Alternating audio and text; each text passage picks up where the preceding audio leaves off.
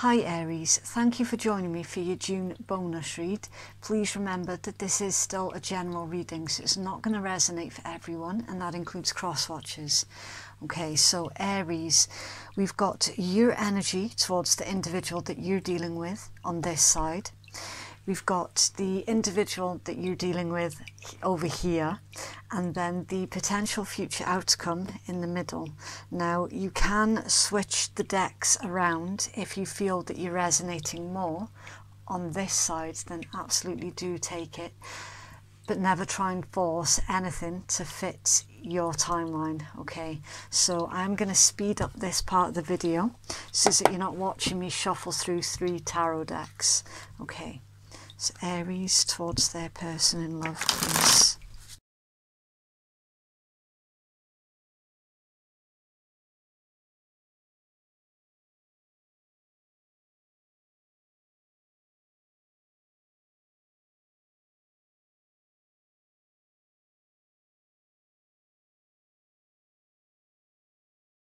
Okay, so Aries, the zodiacs that I can see in your read, you've got uh, Sun in Virgo with the Eight of Coins, your Ten of Swords is Mercury in Gemini, your Two of Wands is Mars in Aries, the Three of Wands is Sun in Aries, and the Star is Aquarius. You've got the Star here twice. Uh, the Seven of Wands is Mars in Leo. The shadow side is Capricorn energy. The Six of Swords is Mercury in Aquarius. Your Queen of Cups is Cancerian. The Four of Wands is Venus in Aries. And your Nine of Cups is Jupiter in Pisces. You've got the Eight of Coins here again. Uh, the Two of Cups is Venus in Cancer. Your Six of Coins is Moon in Taurus. Your Four of Cups is Moon in Cancer. Your Nine of Wands is Moon in Sagittarius. The King of Wands is uh, Leo energy. And then you've got the Ace of Wands and the Ace of Swords. So the, there is um, action and thought your current energy is very action orientated, and the individual that you're dealing with is um, the, they're in their feels massively. Um, they've got a lot of moon energies on their side of the table, and at the moment, it's like you're currently really, really busy. Um, coming out of an old situation. Now, for the most part, I'm not feeling that this individual is the one that is responsible for your hurt. I'm feeling quite strongly that for most of you, you're currently working through a hurt that is from an older connection. And that's why this individual is currently in their feels and they haven't yet taken action on their desires towards you. Because they can see that at the moment you are currently future building. It's like you, you're removing your emotions out of your current plans. Um, so you are trying to remain very realistic here about your future. I'm feeling for the most part that a lot of you are currently heavily focused on your work or another kind of project that is currently keeping you busy. It is acting as a bit of a distraction here from your pain. So um, it's, it's literally just the way that you prefer to deal with your current hurt because there is a painful ending here and there has been some kind of betrayal that um, that you're trying to work your way through. And for most of you you're finding that by keeping busy that's providing you with the distraction that you need in order to heal. And you are healing and you are rebuilding, and you're also being very, very successful because your energies are going into something that um, is providing you with some kind of finances. So, by you focusing on your finances, because you feel that at the moment that is one of the things that you can control, and um, so by uh, focusing on that, that is serving you well at the moment. Um, so, the old connection that has left you in that sort of Ten of Swords mode, that connection was very, very toxic, and you've taken a vow here to yourself never ever to repeat that old cycle with that particular individual. I'm feeling that that individual, you gave them multiple chances, and every single chance that you gave them, they stabbed you in the back. Every single time. So now that you're disconnected or in the process of disconnecting from that situation, um, th- there is definitely this promise here that you've made to yourself that um, no longer would you ignore red flags. And yeah, it's it's really keeping you going at the moment. You you're persevering, you're pushing through, and you. I I really do like that energy for you because it's like, yeah, you can push me down, but you're not going to keep me down. Um,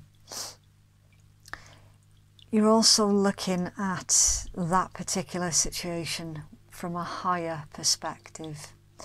Um, there, there is also an energy of gratitude here in your particular read, Aries.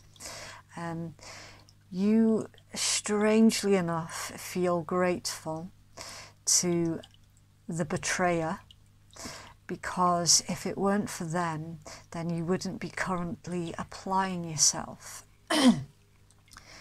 in your studies or your work situation with as much determination as you currently are. So, in part, um, it's almost as if you're thanking them a little bit for the success that you're now reaping in.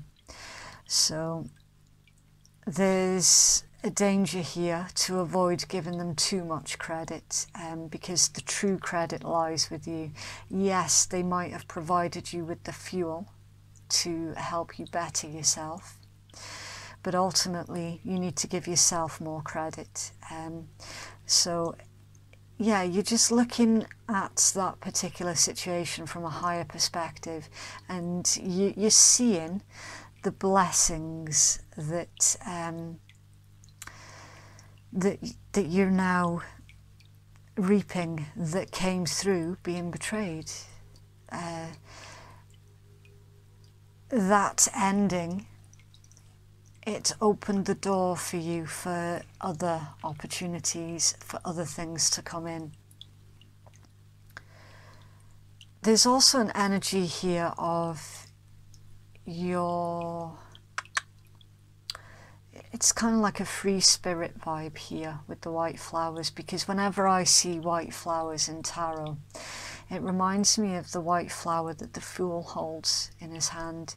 He holds a single white flower, and that is indicative of somebody who's feeling a lot more free, um, feeling that they have a lot more options, kind of like a like almost like a bit of a boundless energies to them. So it's like um, nothing is beyond your reach. It's like that sort of free spirit, and yeah, you you really are genuinely picking up your um, picking up your staff of power, if you like, here. And it's like anyone who gets in your path, you're going to hit them over the head with it and carry on basically. Um, there is very much the vibe here of you've lost your last F to give.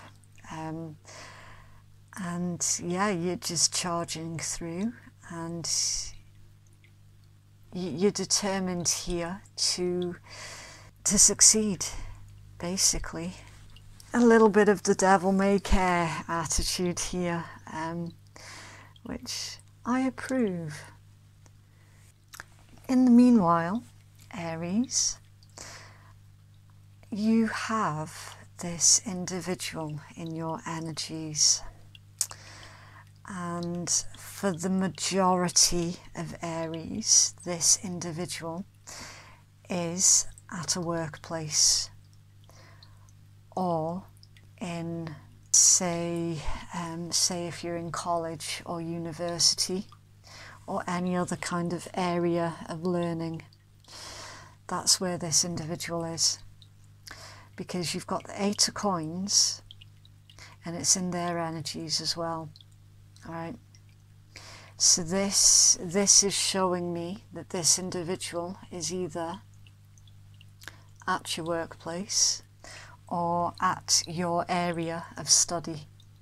They're seeing you as their two of cups. This is what you're currently doing. The eight of coins. And how they see you, eight of coins. So this is definitely somebody who is in a very close proximity to you, Aries. They'll literally, they, they share the same room as you.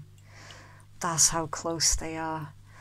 And they haven't yet verbalized how they feel towards you. So this is a secret admirer. And they would like to verbalize their emotions to you here with the Two of Cups. How they feel about you, Ace of Wands, Six of Coins, and Four of Cups. You're dealing here with an individual who they definitely have got their eye on you. They definitely have got a lot of passion towards you. And they they, they would like to share with you, but they're scared. They are scared of rejection here with the Four of Cups. They are currently in the Nine of Wands energies, so they're, they're currently in hot pursuit of you, Aries. And for, for the most part, um, that's going to be a bit of a surprise because some of you would have had your suspicions about this particular individual, but you felt that you didn't have anything that was tangible. So you ignored it and you carried on focusing on your own journey. So this individual, it is actually really, really sweet um, because they're in hot pursuit of you and they, they are determined to face their fear of rejection. What do they want to do? King of Coins, Ace of Swords. Yeah, I'm, I'm smiling because I can feel how much love and admiration this individual's got for you. And when, when they come out with it, it is actually going to bring a tear to your eye because for some of you, you've waited for this. Um, for this kind of energies from an individual for many, many years. It's something that you've wanted to share. You've wanted to share your heart with somebody who's honest and loving and genuine. And every time you've just ended up with another sword in your back. So when this individual take the action that they want to take towards you, it is genuinely going to make your heart sing. Um, King of Wands, that, that's someone who takes action on what they want right there. And their truth with the Ace of Swords to transform the connection that you share with each other. Now, a lot of the fear from their side of the table is coming in through um, they feel because again that the situation where they have met you um, that there's something there that feels that it could be a little bit inappropriate. So, for example, um, a work colleague they they could feel that um, that there's something that's a little bit inappropriate about that. Just in case things go wrong, then you'd still have to share the same sort of workspace. Um, so that is definitely a concern for them, and that's why they um, weren't so forthcoming with their emotions up until now they genuinely do feel that they cannot wait any longer, though, um, to bring you this in. They, they genuinely feel that um, now is the time. The potential future outcome for you both Six of Swords, Queen of Cups, the Four of Wands, the Star, and the Nine of Cups. That's quite possibly simply the best potential outcome that I have seen in a read for a very, very long while, in general reads. Um, so, your potential future outcome is literally Aries. You're going to be dropping the baggage from your past, never to return ever, ever again to that sort of state. So, what you've been through is literally the worst that it will ever, ever get. From here on in, the only way is up, literally, with this particular combination. And also, wishing upon a star, Nine of Cups, wish granted, wish fulfillment. So, Aries, at some point, you have made a wish, you've said something and this combination is letting us know that you've been heard. You have been heard, and your wish is going to be granted here. This individual, I'm seeing really, really clearly, you're going to be settled down and married with them.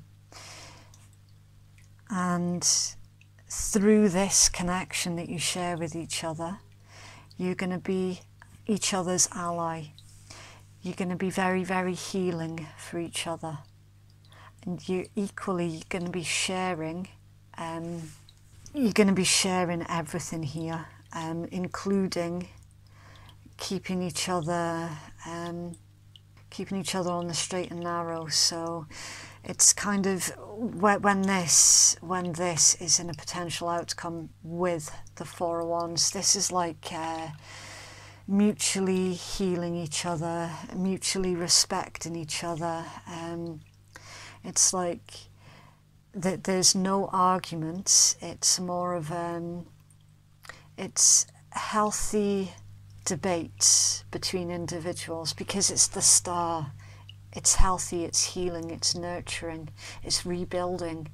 Um, this is the energies that you're going to be providing for each other on an equal basis. It's both of your wish fulfillments here. I'm looking in this particular read, I'm looking at somebody's um, happy ending, literally. The, the, this is somebody's fairy tale ending that I'm reading out here. And yeah, it's um, it is tugging on my heartstrings here a little bit. Um, yeah, because Aries, you have been put through the battles, and I see with the Ten of Swords that it's like you've been put through so much that was unnecessary and it was always brought on by other individuals. It's like you always caught the short end of the shit stick, basically. And this read is saying that's ending that that all ends now.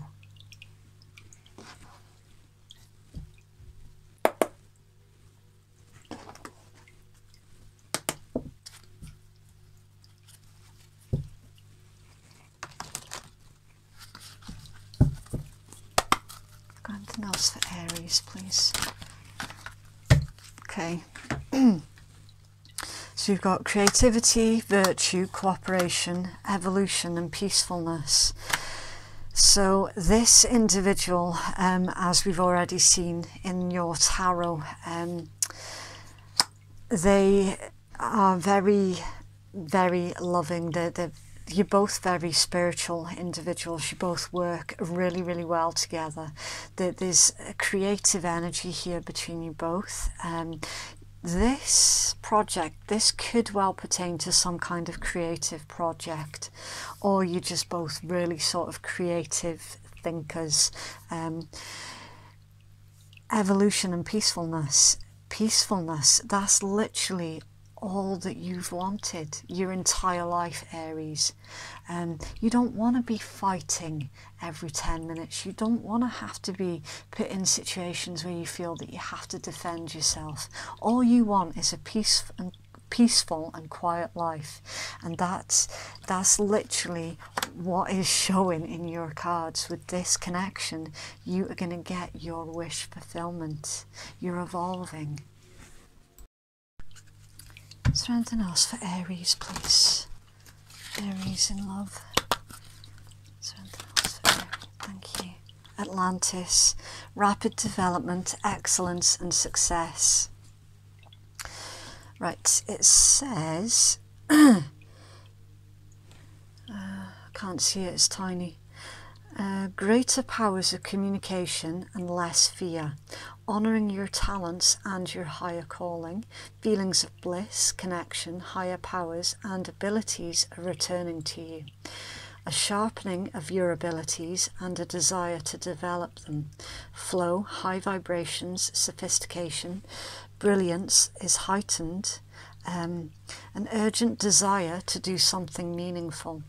Yeah, so again, that's literally when some of you were wishing for a meaningful connection. Um, it's already around you, and you're also, uh, for the for the most part as well, you're developing your spiritual gifts as well, and paying attention, um, paying attention to your gifts. Whereas you probably um, didn't really utilize your spiritual gifts in the past.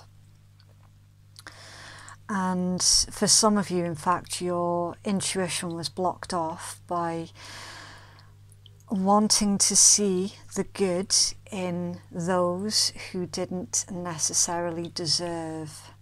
So their energies were kind of blocking off your intuition. Um, but you're, you're certainly paying attention to them now.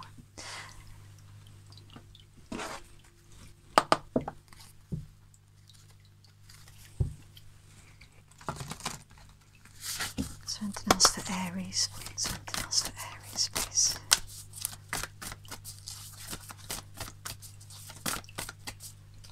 Okay. Right, so we've got new moon in Taurus, prosperity lies ahead. Get or give a massage. Healthy body, healthy mind and it also says you'll soon be able to afford the thing that you're dreaming of.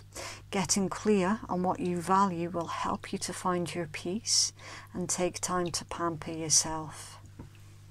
Yeah, it's it's definitely um, long overdue, Aries, for you to do something that is kind for you.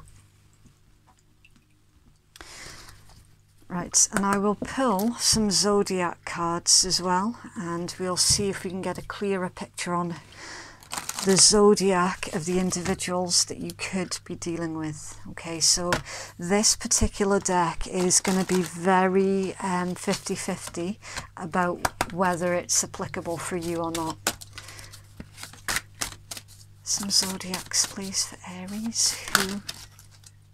Okay, so we've got Saturn and that is Capricorn energy. So some of you could be dealing with a Capricorn.